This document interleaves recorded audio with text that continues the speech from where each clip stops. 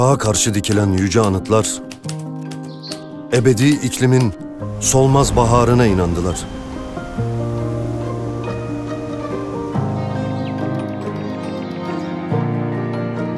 Ateşin ve suyun sahibine inanıp onunla yol aldılar.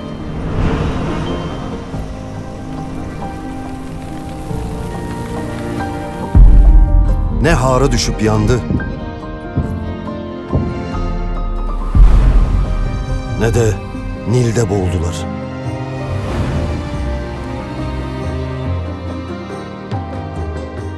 Onlar doğruluk ayaklarını kalplerinin adımlarıyla birleştirip yürür. Zerreleri dağ, damlaları deniz, azları çok, lambaları güneştir. Sıfırdan başladılar alemi inşa etmeye. Birden başlayan her şey bire dönerdi. Birliği bozmaya kalkanın karşısına yine onlar dikildi.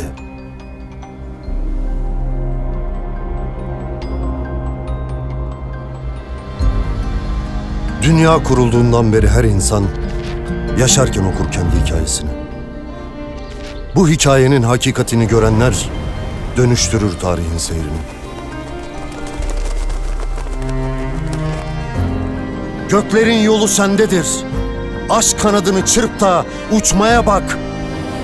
Denildiğinde gayretli gönüllere bu sesi duyuran ne?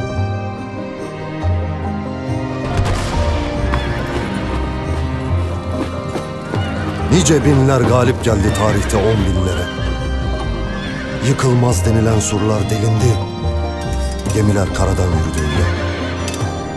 Peki ama neydi? Bir insandan çağa karşı direnen yüce anıtlar çıkaran.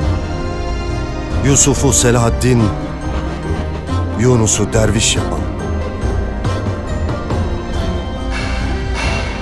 Neydi taşların kalp atışlarını onlara hissettiren?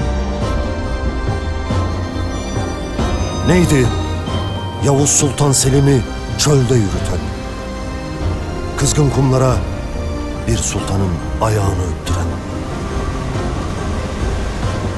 Tac Mahal'i bir günde üç renge boyayan ne?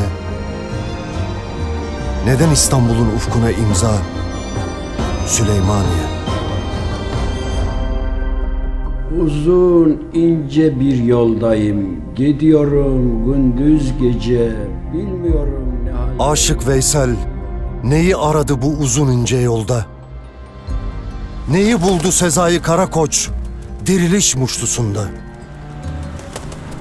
Madde ve mana, ahlak ve çaba bir olmadan onurlu bir destan yazılabilir mi? Hangi büyüklükte bir kaya kesebilir Bilal-i Habeşi'nin aleme yayılan sesini? İnanırlar inanınca imkansız olmadığına. İnanırlar inanınca hakkın el tuttuğuna. Bekleyin gençler, biraz daha rahmet yağsın. Ayasofya açılacak.